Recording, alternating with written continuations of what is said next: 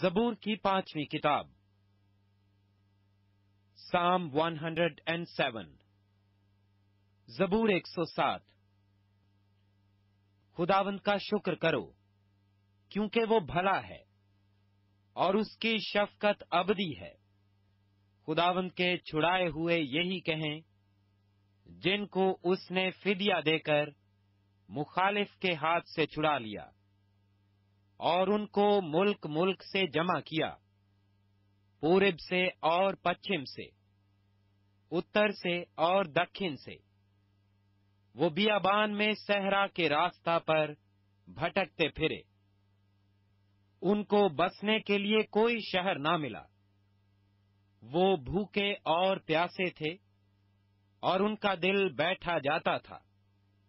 تب اپنی مصیبت میں انہوں نے خداون سے فریاد کی اور اس نے ان کو ان کے دکھوں سے رہائی بخشی۔ وہ ان کو سیدھی راہ سے لے گیا تاکہ بسنے کے لیے کسی شہر میں جا پہنچیں۔ کاش کے لوگ خداوند کی شفقت کی خاطر اور بنی آدم کے لیے اس کے عجائب کی خاطر اس کی ستائش کرتے۔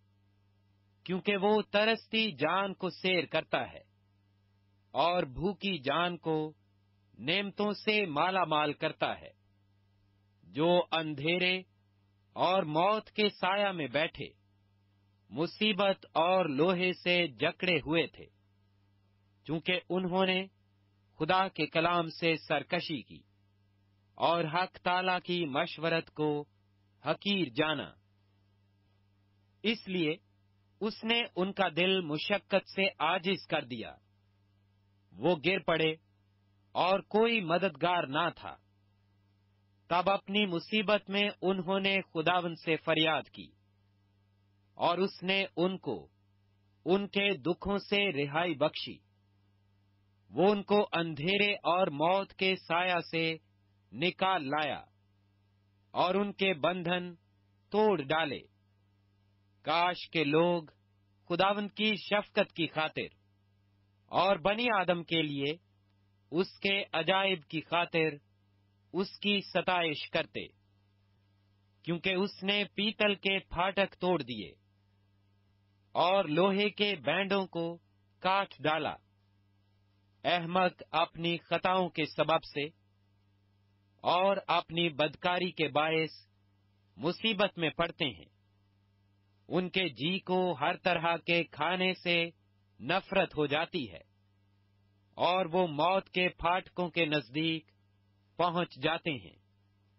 تب وہ اپنی مصیبت میں خداون سے فریاد کرتے ہیں اور وہ ان کو ان کے دکھوں سے رہائی بخشتا ہے۔ وہ اپنا کلام نازل فرما کر ان کو شفا دیتا ہے۔ اور ان کو ان کی ہلاکت سے رہائی بخشتا ہے۔ کاش کے لوگ خداوند کی شفقت کی خاطر اور بنی آدم کے لیے اس کے عجائب کی خاطر اس کی ستائش کرتے۔ وہ شکر گزاری کی قربانیاں گزرانے اور گاتے ہوئے اس کے کاموں کا بیان کریں۔ جو لوگ جہازوں میں بہر پر جاتے ہیں اور سمندر پر کاروبار میں لگے رہتے ہیں۔ وہ سمندر میں خداوند کے کاموں کو اور اس کے عجائب کو دیکھتے ہیں، کیونکہ وہ حکم دے کر طوفانی ہوا چلاتا ہے، جو اس میں لہریں اٹھاتی ہے۔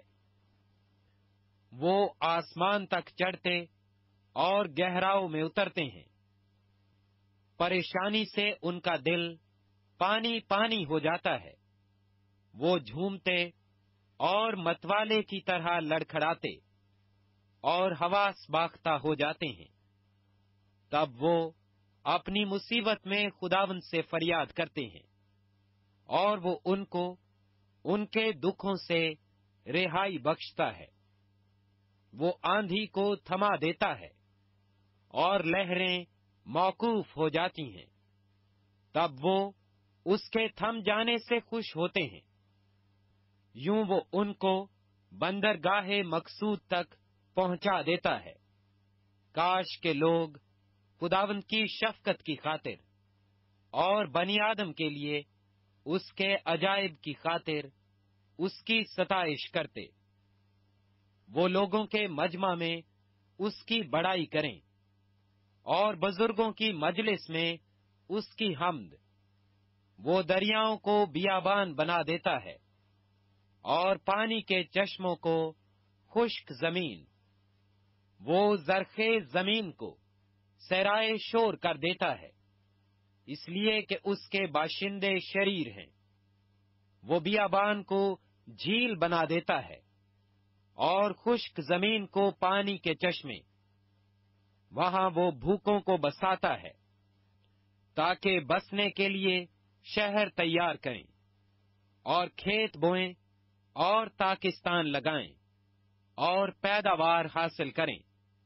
وہ ان کو برکت دیتا ہے اور وہ بہت بڑھتے ہیں اور وہ ان کے چوپایوں کو کم نہیں ہونے دیتا۔ پھر ظلم و تکلیف اور غم کے مارے۔ وہ گھٹ جاتے اور پست ہو جاتے ہیں۔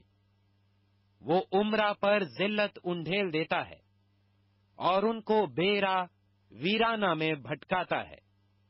تو بھی وہ محتاج کو مصیبت سے نکال کر سرفراز کرتا ہے اور اس کے خاندان کو ریوڑ کی طرح بڑھاتا ہے۔